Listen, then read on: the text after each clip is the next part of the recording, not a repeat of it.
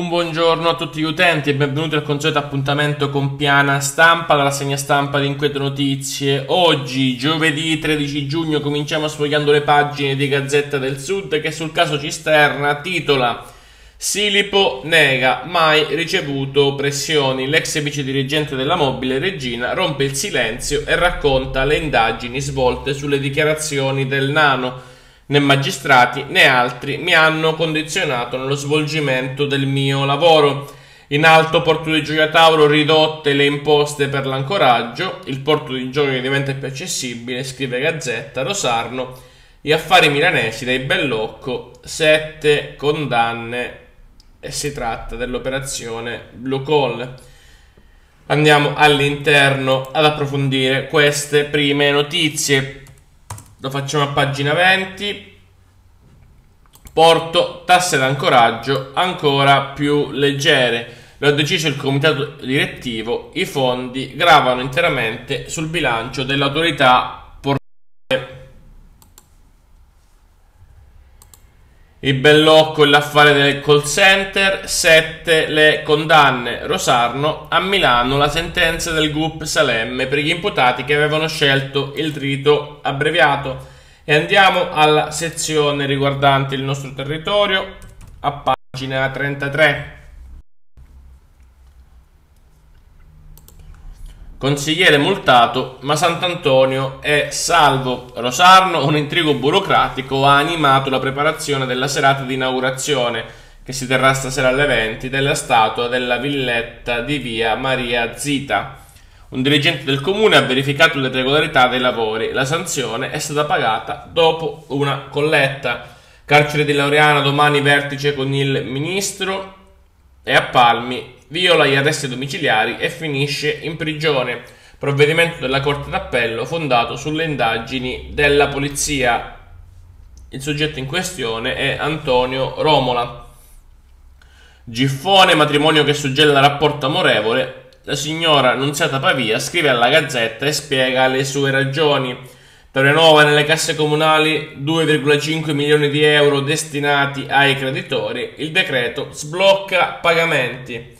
San Ferdinando, rifiuti e servizi, tributo in tre rate. Rosarno saranno assegnate 5 borse di studio nell'ambito del premio La città del sole. Due saranno intitolate al preside Nasso. Palmi, donna minacciata per un terreno, tentata estorsione, due gli arresti. I carabinieri avrebbero fatto luce sulle violente pressioni subite dalla proprietaria. In carcere un uomo di Santo Femio da Spromonte e il complice di San Procopio.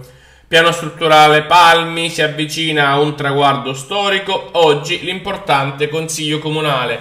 E a Polistina, percorso antimafia, gli studenti del Renda in prima fila. Gioia Tauro, farmacia territoriale, la CGL dice no alla chiusura. E sempre Gioia Tauro, nuove aiuole, spazi verdi curati. Gioia Tauro esalta il decoro urbano. Il comune annuncia la svolta, interventi al centro e sul lungomare. Cittanova via libera la realizzazione degli alloggi popolari, polemiche sui tributi, confronto serrato in aula sulla Tares la tassa su rifiuti e servizi, botta e risposta tra il sindaco e l'opposizione. Cittanova, vacanza per ragazzi al polo della legalità e sempre a Cittanova, cortometraggio Pirandello Drac. Passiamo alle pagine del quotidiano della Calabria, titolo principale dedicato all'Unione Europea. L'Unione Europea taglia tagli ai fondi, poi ci ripensa. L'assessore Mancino spiega al quotidiano luce e ombre del FES. Gioia Tauro resta al palo, riconosciuto il lavoro della regione, scongiurato il disimpegno per 500 milioni.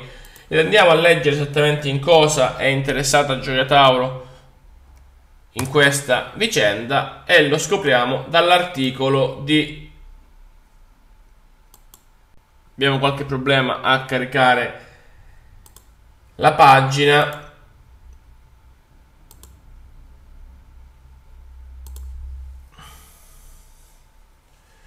Gioia Tauro, addio al Gateway e questo il titolo dell'articolo scritto da Michele Albanese che parla appunto delle decisioni assunte da Rete Ferroviaria Italiana, la società delle ferrovie dello Stato. Non si risolve il problema relativo alla visualizzazione per cui proviamo ad andare avanti.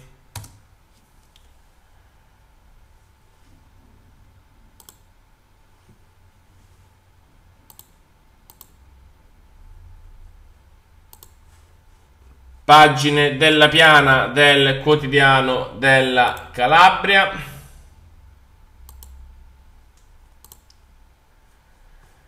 Siamo a Rosarno e si parla del nuovo ingresso in giunta relativo appunto all'ingresso del consigliere italiano Vediamo se siamo riusciti a risolvere i nostri problemi. Sì, ce l'abbiamo fatta. Italiano in giunta a Rosarno. La scelta potrebbe essere comunicata oggi durante una riunione dei vendoliani. Il consigliere comunale del PD, gradito a Sinistra Ecologia e Libertà per l'ingresso nell'esecutivo del sindaco Tripodi. Mal di pancia tra le forze indipendenti di centro-sinistra. Cittànuova rateizza il pagamento della Tarso, ma nell'aula consigliare si alzano le proteste dei consiglieri d'opposizione e le critiche della maggioranza. Santa Eufemia volevano la sua terra a tutti i costi, fermati per tentata estorsione, in due finiscono in manette su richiesta della procura di Palmi. Viola ripetutamente gli arresti domiciliari, arrestato dalla polizia, Romola era detenuto nella sua casa di Palmi.